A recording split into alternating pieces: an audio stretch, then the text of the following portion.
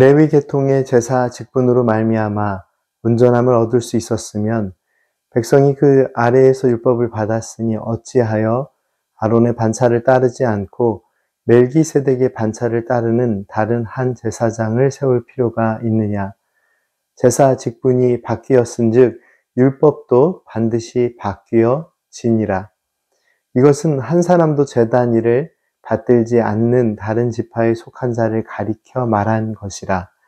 우리 주께서는 유다로부터 나신 것이 분명하도다.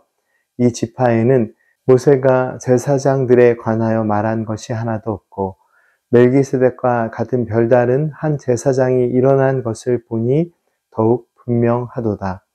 그는 육신에 속한 한 계명의 법을 따르지 아니하고 오직 불멸의 생명의 능력을 따라 되었으니 증언하기를 내가 영원히 멜기세덱의 반차를 따르는 제사장이라 하였도다.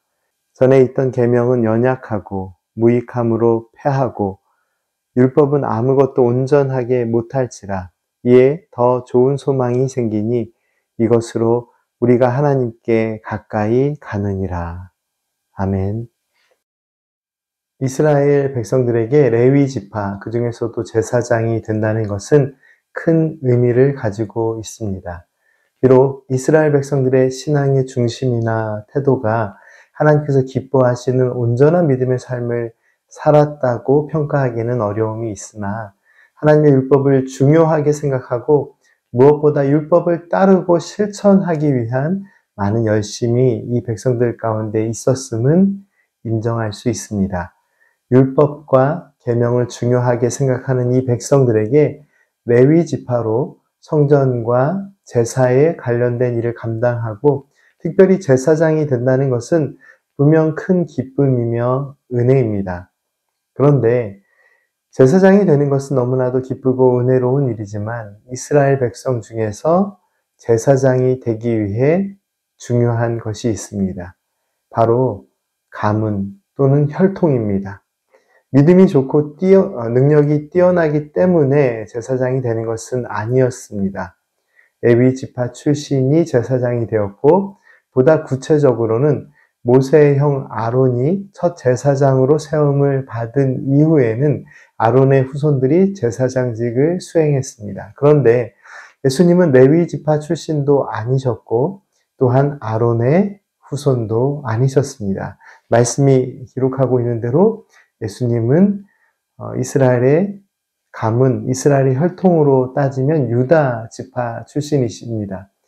그래서 예수님께서 대제사장이 되신다는 이 히브리서 말씀의 선포는 전통을 지키는 것을 가장 중요하게 생각했던 많은 유대인들에게는 잘 이해가 되지 않고 또는 받아들이기 힘든 부분일 수 있습니다. 그래서 본문 말씀의 11절 말씀은 제사장 아론의 이름보다 훨씬 더 이전에 성경 말씀에 등장하는 멜기세덱이라는 이름을 강조합니다. 멜기세덱은 어떤 인물입니까? 멜기세덱은 창세기 14장 18절에 언급되는 인물로 아브라함이 소돔과 고모라의 전쟁이 있을 때 조카 롯의 가족을 구해 주었는데 이때 아브라함을 맞이한 사람이 멜기, 멜기세덱이고 창세기 14장 18절 말씀은 왕 멜기세덱이 떡과 포도주를 가지고 아브라함을 맞이하는 모습을 기록하면서 그를 지극히 높으신 하나님의 제사장으로 선포하고 있습니다. 멜기세덱을 지극히 높으신 하나님의 제사장으로 선포합니다. 멜기세덱은 아브라함을 위해 천지의 주제이시오 지극히 높으신 하나님께서 아브라함에게 복을 주옵소서라고 기도합니다.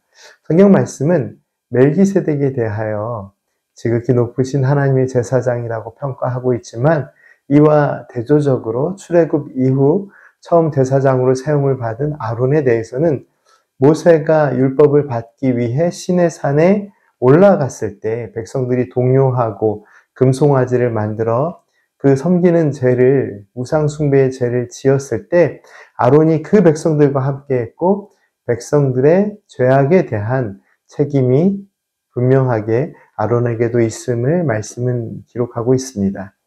아론은 하나님의 용서하심과 은혜로 제사장직을 계속 수행하기는 했지만 온전함이라는 뜻과는 거리가 있는 인물이었습니다. 본문 말씀은 레위 지파로 제사장 분을 얻는 것이 온전함을 보증해 주는 것이 아님을 분명하게 가르쳐 주십니다. 십자가의 죽으심으로 인류의 죄를 용서하시고 구원의 은혜를 내려주시는 예수 그리스도께서 구약의 율법대로라면 제사장이 되실 수 없는 분이시지만 아론보다 훨씬 이전에 지극히 높으신 하나님의 제사장으로 인정을 받았던 멜기세덱과 같이 예수님께서는 제, 레위 지파도 아니시고 아론의 자손, 아론의 혈통도 아니시지만 하나님의 구원의 뜻 가운데 생명의 주가 되시고 인류의 죄를 속죄하시는 대속하시는 대제사장이 되셨음을 오늘 하나님의 말씀을 강조하고 있습니다. 히브리 백성들은 자신들의 전통과 율법 그리고 그 율법에 대한 이해라는 틀에 갇혀서 하나님의 은혜와 사랑을 온전히 이해하지 못할 때가 참 많이 있었습니다.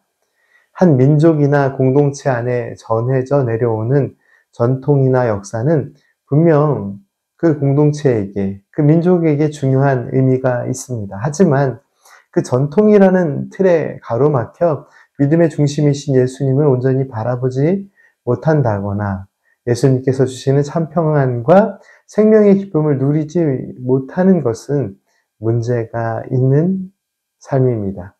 오늘 우리의 신앙의 모습은 어떤가요? 나의 생각과 이해, 그리고 내가 지켜온 전통과 기준이라는 틀에 갇혀서 세상 그 어떤 기준이나 전통보다 더 위대하신, 더 중요하신 하나님의 은혜와 사랑을 우리에게 전해주시는 예수님을 놓치고 있지는 않는지, 어, 오늘 우리의 삶에 예수님께서 전해주시는 하나님의 사랑과 은혜가 중심이 되고 있는지, 오늘 이 말씀을 통해 우리의 삶을 돌아보고 예수님을 깊이 생각하는 은혜의 날이 되기를 소망합니다. 우리의 믿음의 삶의 중심은 전통이나 역사 그 자체는 아닙니다. 전통을 통해 전해오는 신앙의 이야기와 함께 모든 전통과 역사, 그리고 기준을 넘어서 참 생명의 주인 되신 예수님께서 전해주시는 하나님의 사랑과 은혜를 통한 믿음의 이야기로 가득한 성도님들의 삶이 되시기를 간절히 기도합니다. 함께 기도드리겠습니다. 거룩하신 하나님, 세상의 모든 기준을 넘어 십자가의 사랑으로 우리와 함께 하시는 주님의 은혜를 보게 하옵소서 예수님이 주시는 생명과 기쁨이 가득한 은혜의 날 되게 하시고 오늘도 하나님의 영광 위하여 살게 하옵소서 예수님의 이름으로 기도드립니다. 아멘.